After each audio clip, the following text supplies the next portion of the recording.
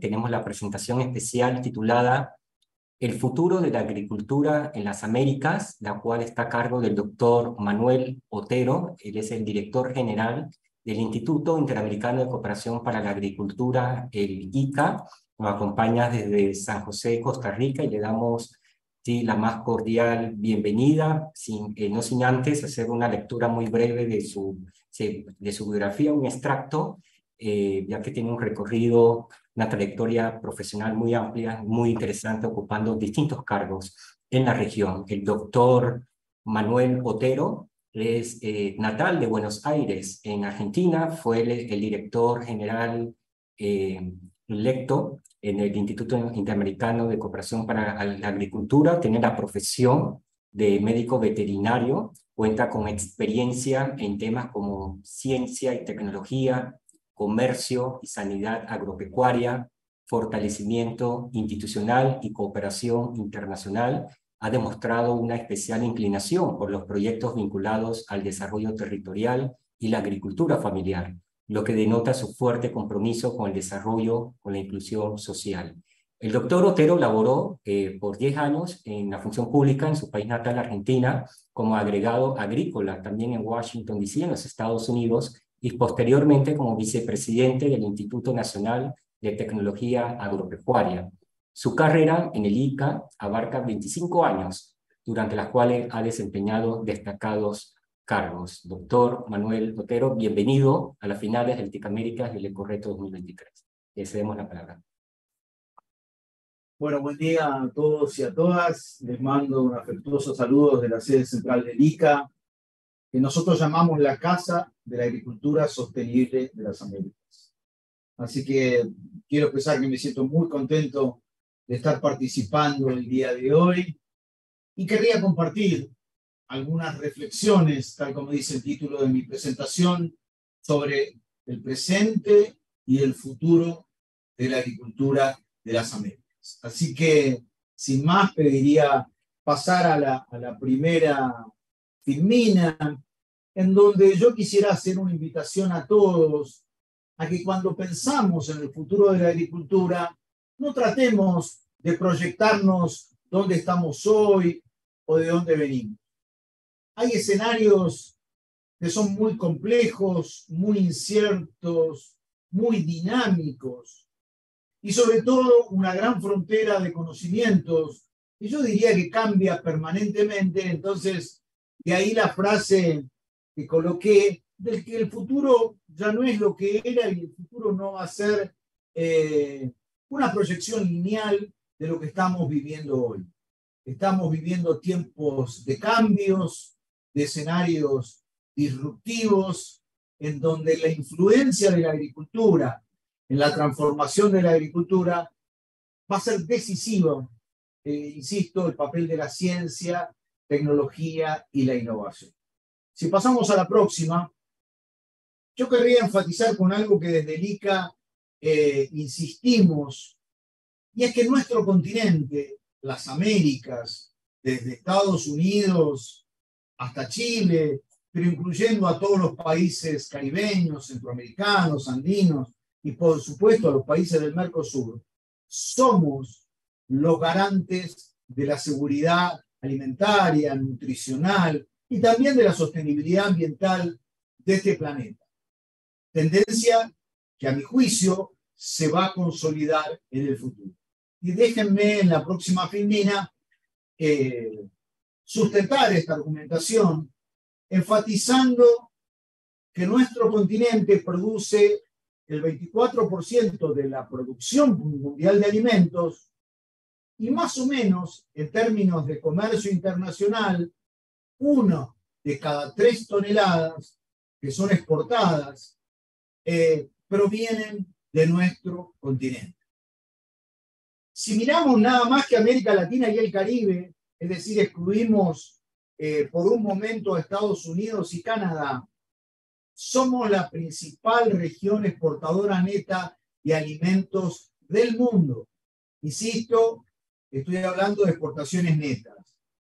Y esto significa que eh, esas exportaciones netas que vienen de América Latina y el Caribe, refiero a agroalimentos, son superiores a las exportaciones netas de Estados Unidos, de Canadá, de la Unión Europea, de Australia y de Nueva Zelanda juntos. O sea, somos, somos en esta parte del mundo, somos un jugador fundamental en el presente, e insisto, es una tendencia que se va a consolidar en el futuro. Por supuesto que son exportaciones que en algunos casos tienen escaso valor agregado, algunos pueden argumentar que son exportaciones de commodities, pero el hecho, el hecho es que somos actores fundamentales y que tenemos todo si, si aplicamos las estrategias correctas, las políticas de largo plazo, para ser actores centrales de esta agricultura que se viene y que tiene muchos elementos para, su, su, para creer en, una transformación profunda, siempre creyendo en que los agricultores, sobre todo los pequeños agricultores, tienen un rol fundamental a cumplir. En cuanto a la seguridad ambiental, yo lo que quería enfatizar es que tenemos el 16% de las tierras agrícolas disponibles, el 50% de la biodiversidad, el 23% de la superficie boscosa, el 30% del agua fresca del planeta. Esto nos da una responsabilidad fundamental, sobre todo para conservar la biodiversidad, para revertir el deterioro de los suelos, y acá estoy siendo autocrítico, y sobre todo para mantener el ciclo del agua y del oxígeno a nivel global. Pasemos a la próxima. Yo quisiera a partir de ahora plantear las cinco tendencias que a mi juicio van a redefinir el futuro de la agricultura en términos de su inserción en la economía y en la sociedad del continente, pero también a nivel mundial. Pasemos a la próxima. Esas cinco tendencias están dadas en primer término por cambios en la relación de esa ecuación que, que define los vínculos entre agricultura y alimentación. Segunda tendencia que voy a explicar más adelante, de qué se trata la bioeconomía y por qué nosotros insistimos que es la posibilidad de construir un gran puente entre producción y medio ambiente. La tercera tendencia está definida por la crisis climática. En cuarto lugar, los escenarios científico-tecnológicos. Y en quinto lugar, y no por eso menos importante, eh, sobre el papel de los jóvenes y de las mujeres como protagonistas de todos estos cambios que se vienen dando en torno a la agricultura, las transformaciones que estamos visualizando sobre todo de cara al 2050. En relación a la primera tendencia, una de las cosas que queremos enfatizar es que durante mucho tiempo había una ecuación lineal en donde agricultura era prácticamente igual a alimentación. Hoy podemos decir que hay clara diferenciación y esto está sustentado en tres conceptos que quiero señalar. Primero que se reduce progresivamente el peso de la agricultura en el marco de un sistema cada vez más complejo de actores, en donde además de producir, tenemos los eslabones de esta cadena vinculados a almacenamiento, transporte, a transformación, a distribución y a financiamiento. Por esto lo que quiero enfatizar es que el valor final de la alimentación, la agricultura tiene tan solo un, valor, es el eslabón, el de la producción, de un 14%. Y los otros eslabones van eh, reteniendo también partes de ese valor final. ¿Esto significa entonces que la agricultura es menos importante que antes? No, no, al contrario, la agricultura sigue siendo muy importante. Lo que pasa es que a la agricultura se le piden más tareas como relacionadas a la sostenibilidad ambiental o a la seguridad energética. En todo caso, lo que está pasando es que los consumidores, y este es mi segundo argumento, tienen cada vez más importancia. Por eso decimos que de producir lo que un productor antes quería eh, o pensaba que era fundamental, ahora es esencial estar mirando a lo que piden los, los consumidores. O sea, en esta nueva dimensión de la producción al consumo, presta cada vez más atención el rol de los consumidores. En todo caso, se consolida la idea de un sistema agroalimentario que es el espacio que integra a todos los actores, desde la producción hasta la persona consumidora, y es en este ámbito donde tenemos que tener y tomar decisiones de intervención y apostar a una nueva generación de políticas públicas, siempre con una visión de largo plazo y con un criterio intersectorial. Antes las políticas estaban más vinculadas o únicamente vinculadas a los temas productivos y ahora hay que agregarle las dimensiones de inocuidad, de calidad de los alimentos, los temas ambientales, la incursión en nuevos mercados. Es decir, esta visión sistémica de la agricultura requiere reconocer y dar importancia a otros actores eh, en el marco de esta visión amplia.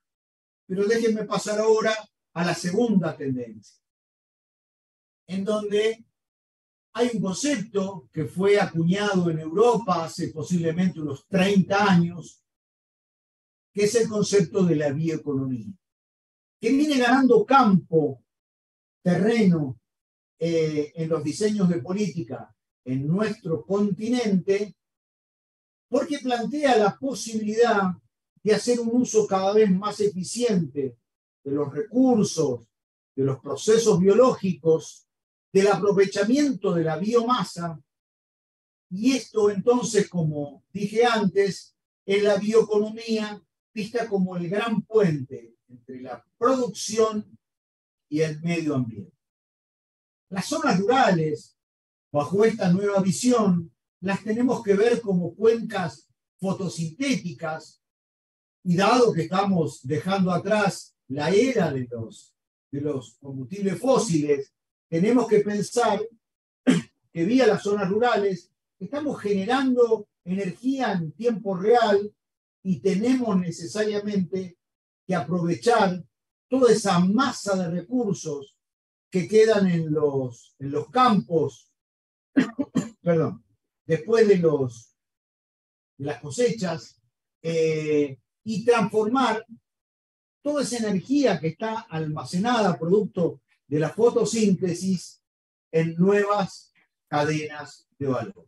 Quiero enfatizar este concepto de la bioeconomía porque mientras los mercados de los productos tradicionales pueden estar creciendo a un 3 a un 4%, la posibilidad de transformar esa biomasa en biocombustibles, en muchos casos y vinculado a la biodiversidad, en biomedicamentos, en biofertilizantes, en biocosméticos, está creciendo a una tasa mucho más acelerada. Entonces, bioeconomía es, es una disciplina que realmente eh, tiene un presente y un futuro que está muy vinculado a las nuevas estrategias de desarrollo sostenible. Por favor, la próxima. El tercer argumento es que el cambio climático nos está afectando aquí y ahora. El cambio climático afecta principalmente a nuestro continente, el continente en el cual vivimos. Somos el continente posiblemente eh, más vulnerable de todos. Mi país, Argentina, acaba de, como resultado de una sequía, tener pérdidas económicas directas por valor de más de 20 mil millones de dólares. Pero esto se repite en los países del Mercosur, en Chile. Eh, yo diría que la gran mayoría de los países están padeciendo déficits hídricos o problemas opuestos derivados de exceso de agua. Esto hace que la agricultura sustentable pase a ser como un concepto ya indivisible, una relación que es absolutamente sinérgica y necesaria, en donde tenemos que transformar todas las amenazas que aún tenemos en grandes oportunidades.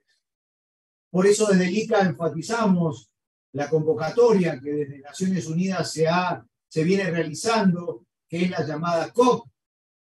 Eh, este año, desde el 30 de noviembre al 12 de diciembre, vamos a tener la COP28 en Emiratos Árabes Unidos, donde la agricultura no puede estar al margen de estas negociaciones ambientales. La agricultura es fundamental por su incidencia, por su influencia en los procesos de mitigación del cambio climático y por la necesidad que tiene de adaptarse a esta crisis climática. Desde ICA enfatizamos que los agricultores son claves como actores protagónicos para hacer frente a esta crisis climática, siempre de la mano de las nuevas tecnologías. Por eso insistimos ciencia, ciencia y más ciencia y sobre todo defendiendo que la agricultura es parte de la solución. Por supuesto, necesitamos eh, agricultores cada vez más profesionalizados y acá la importancia de los jóvenes y de las mujeres, porque hace falta un relevo generacional de productores agropecuarios cada vez más capacitados para enfrentar esta nueva generación de adversidades. La próxima. Como dije al principio, estamos frente a una nueva frontera del conocimiento, eh, tanto en el campo de la biología, en el campo de la física, eh, en el campo de las tecnologías digitales, y esto lo tenemos que ver como fuente de oportunidad. La próxima. Quisiera enfatizar que hay una nueva convergencia tecnológica en donde biología, otras ciencias, las ciencias de datos que son fundamentales, las TICs, las ingenierías, definen una nueva frontera de conocimientos que está cambiando día a día. Las nuevas tecnologías, pero sobre todo las digitales, son las, tecnologías habilitantes que permiten una retroalimentación cada vez más ágil y más rápida entre oferta y demanda. Y esto hace que tengamos enormes oportunidades para conciliar lo que señalaba antes, la necesidad imperiosa de producir más y mejor con la conservación de los recursos naturales. No podemos dejar de lado que hacia el 2050 tenemos que aumentar por lo menos en un 60 o en un 70% nuestra oferta de alimentos, pero esto tenemos que hacerlo de otra manera, revirtiendo el deterioro de los recursos naturales, recomponiendo eh, nuestra masa forestal, este, dando una especial importancia al tema del recurso suelo, que debemos reconocer que sobre todo en Mesoamérica eh, hay más de un 50% de este recurso que está con diferentes procesos de degradación. Y por supuesto, recuperar este, y hacer un manejo mucho más inteligente del recurso agua, que es escaso. Tenemos que internalizar este concepto y por eso que tenemos que trabajar en estrategias hemisféricas sobre el tema de agua y agricultura, dado que la agricultura consume un 70% del agua disponible. Estos son promedios muy globales, pero tenemos que mejorar la eficiencia del uso del agua. Eh, los procesos se van acelerando y demandan respuestas este, rápidas y oportunas para que no estemos atrás de los acontecimientos y para que, por el contrario, de una manera prospectiva, proactiva, podamos transformar todas estas amenazas en oportunidades. La próxima. La quinta tendencia eh, está vinculada al tema de género y juventud como el elemento fundamental para apalancar el desarrollo de esta nueva agricultura en las Américas.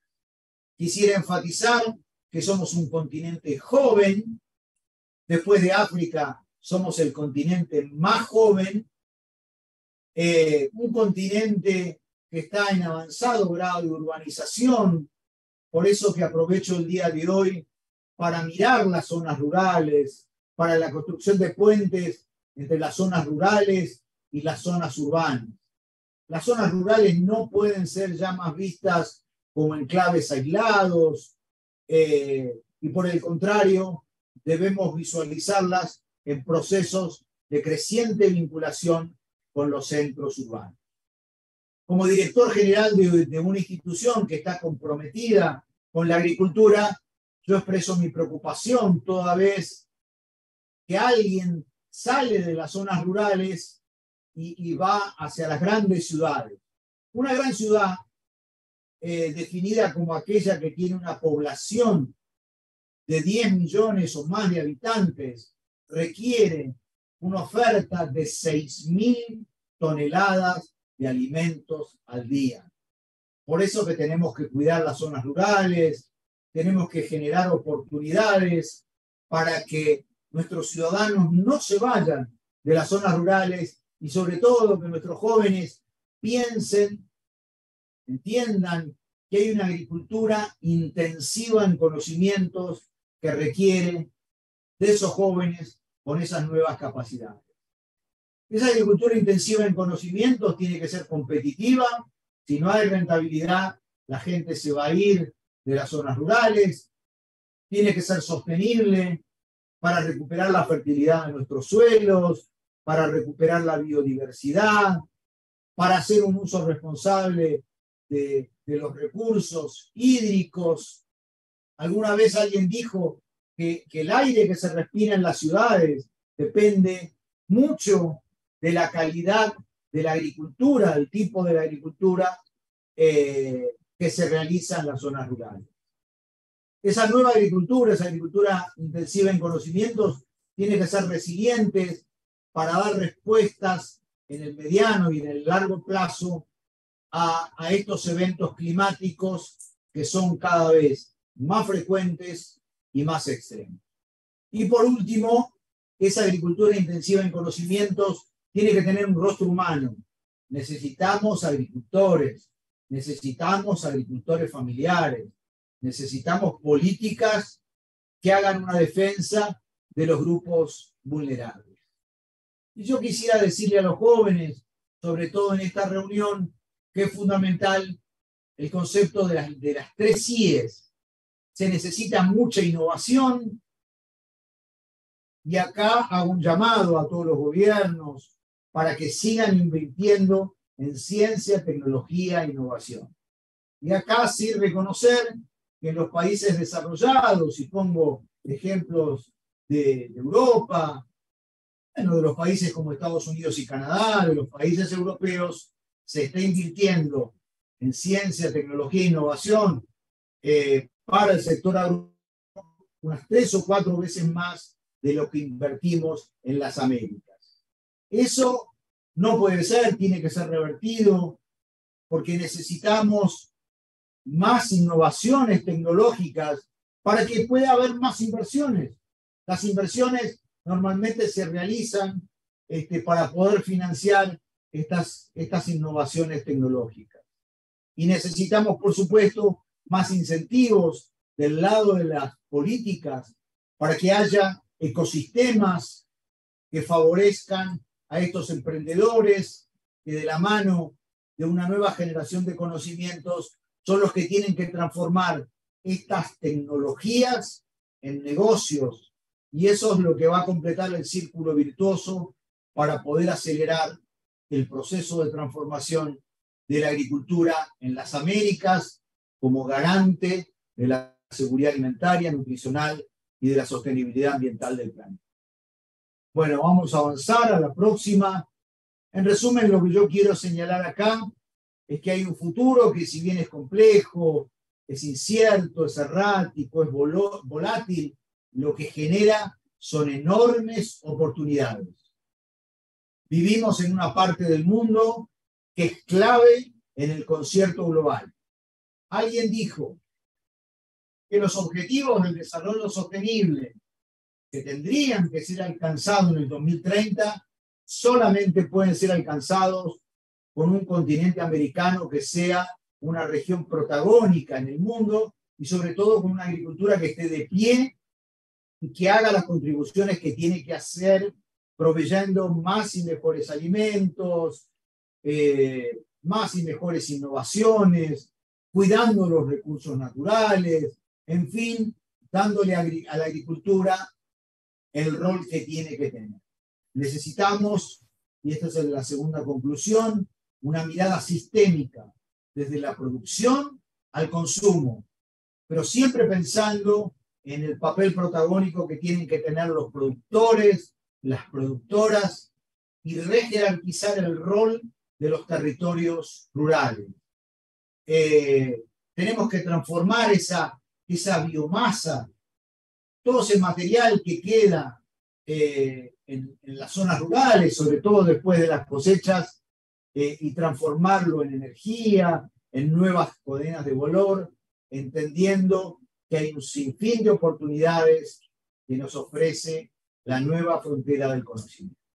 Para esto necesitamos una nueva generación de políticas, siempre políticas de largo plazo, para empoderar a esos agricultores, y agricultoras, promoviendo la innovación, la bioeconomía y dando la debida importancia a los temas de la agenda climática. Todo esto incorporando a los jóvenes, incorporando a las mujeres, visibilizando los temas de género, promoviendo la articulación público-privado y dándole una debida importancia a los temas del emprendedurismo. Así como se habla de los, de los unicornios, tenemos que empezar a hablar de los agricornios, que son los unicornios eh, vinculados a la transformación de la agricultura. Nuestra América tiene eh, jóvenes que son muy talentosos, que están dispuestos a hacer una contribución sustantiva para la transformación de la agricultura.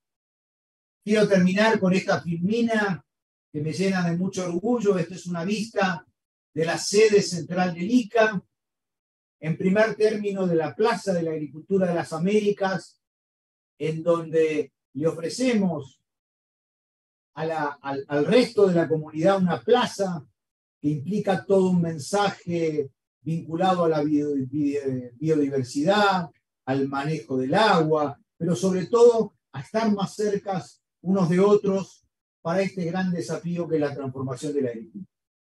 Como pueden ver en el resto de las fotos, eh, recibimos en el ICA de Puertas Abiertas más de 10.000 visitantes ya para este año, sobre todo alumnos de escuelas primarias, de secundarias, a profesores, eh, para que conozcan todo lo que representan las transformaciones de la agricultura y el rol fundamental que tiene que tener este sector en cualquier estrategia de desarrollo sostenible eh, que, se, que un país decida seguir. Eh, ahí van a ver en nuestra sede central en Costa Rica el Centro de Interpretación del Mañana de la Agricultura, uno de los primeros laboratorios de fabricación digital que hay en el mundo, nuestra casa rural para no olvidarnos de dónde venimos, hacia dónde vamos, el Bosque de las Américas, en fin, están todos invitados al ICA, un organismo que desde la cooperación técnica apuesta por la transformación de la agricultura, una agricultura con rostro humano, que debe interpretar la nueva frontera del conocimiento y enfrentar la crisis climática.